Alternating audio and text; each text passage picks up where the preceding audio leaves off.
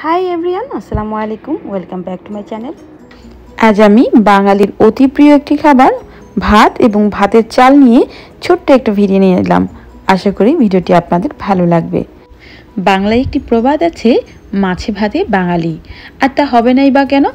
ভাত যে বাঙালির মানে আমাদের জাতীয় খাবার, যেটি ছাড়া বাঙালিরা একদিনেও কল্পনা করতে পারে না। তবে ভাত যে শুধু বাঙালিরাই খায়, তা কিন্তু না কম বেশি সব দেশের লোকই ভাত খায়। এই মুহূর্তে আমার হাতে আপনারা যে চালগুলো দেখছেন, এগুলো মোটা লালচে চাল, যেটি এখানে জেসমিন বা ডেল্টা কোম্পানি প্রোভাইড করে থাকে। আমি এবং আমার পরিবারের সকলে সাধারণত জেসমিন চালের মানে অনেকের ভাষায় যেটি মোটা লাল চাল নামে পরিচিত, সেই লাল চালের মোটা ভাতই খেয়ে থাকি। আর এটি যে শুধু আমি বা আমার পরিবারের লোকজন খাই তা না আমেরিকায় বসবাসরত প্রায় সব বাঙালি পরিবারেই কিন্তু এই একই চালের ভাত খেয়ে থাকে। এছাড়া এই চালের ভাত শুধু যে আমরা বাঙালিরাই খাই তা কিন্তু না। আমেরিকান হসপিটাল, আমেরিকান কিছু কিছু রেস্টুরেন্ট, আমেরিকান হোটেল, হোস্টেল অনেক জায়গায় কিন্তু এই একই চালের ভাত বিভিন্নভাবে বিভিন্ন রকম করে পরিবেশন করে থাকে। তো ভাত নিয়ে আসলে আমার এত কিছু বলার আজকে হয়তো বা প্রয়োজন পড়তো না। আমি আজকে ভাত নিয়ে এই কথাগুলো বলার প্রয়োজন বোধ করেছি, কারণ আমি বাংলাদেশের বিভিন্ন খাদ্যমন্ত্রী বা নেতাদের মুখে ভাত নিয়ে বিভিন্ন ব্যঙ্গোক্তি শুনেছি। এছাড়া বাংলাদেশে অনেকের মুখে শুনেছি ভাতের চালও নাকি বিভিন্ন ক্লাস বা স্টার্টার্স সার্টিফাইড করে। মানে এক কথা যাকে বলে, গরিবের জন্যই নাকি মোটা চালের মোটা ভাত।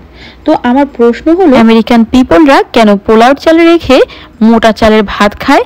তাদের কিসের অভাব এবং ডাক্তারই বা কেন রিকমেন্ড করে লাল চালের মোটা ভাত খাওয়ার জন্য?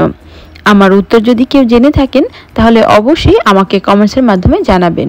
তো যাই হোক, আমাদের আজকের লাঞ্চের জন্য আমি রান্না করছি সাদা ভাত আর মিক্সড ভেজিটেবল তো মিক্সড ভেজিটেবলের জন্য আজকে আমি যা যা নিয়েছি তা হচ্ছে সাদা আলু মানে গোল আলু ক্যারেটস আর একটা চাইনিজ বিনস এটা শিমের মতনই দেখতে, কিন্তু খেতে আমাদের শিমের মতন না, মিষ্টি।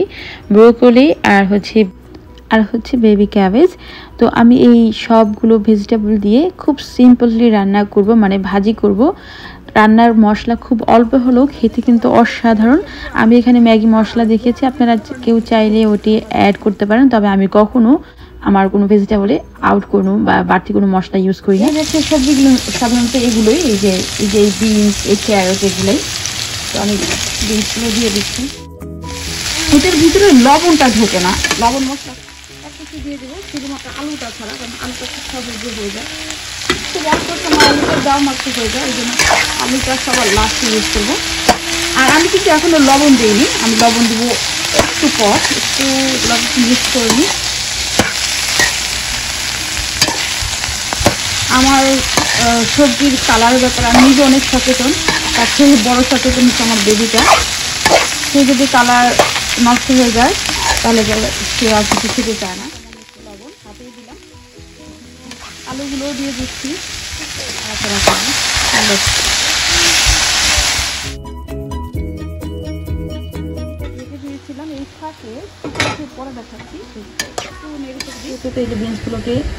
যে ছোটো ছোটো, চিকন চিকন করে সরি আমার ভিডিওটা মনে অফ হয়ে গিয়েছিল বা মন ছিল না। আমি ক্যাপসিকাম দিয়ে দিয়েছি। আর এই ক্যাপসিকাম দিয়ে কখনো বেশিক্ষণ রান্না করা যাবে না, কালার নষ্ট যায়, খেতেও ভালো লাগে না।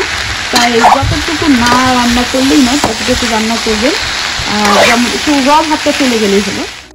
তো আমার রান্না বান্না শেষ, আমার লাঞ্চ রেডি আমি নিয়েছি সাদা ভাত, সবজি ভাজি, কাঁচা মরিচ আর বোম্বাই মরিচের আচার। ধোয়া তোলা গরম ভাতের সাথে এর কোনো তুলনাই হয় না। তো আজ এ পর্যন্তই, সবাই খুব ভালো থাকবেন। পরবর্তী ভিডিও দেখার আমন্ত্রণ জানি আজ আমি এখানেই বিদায় নিচ্ছি। আল্লাহ হাফেজ। হুম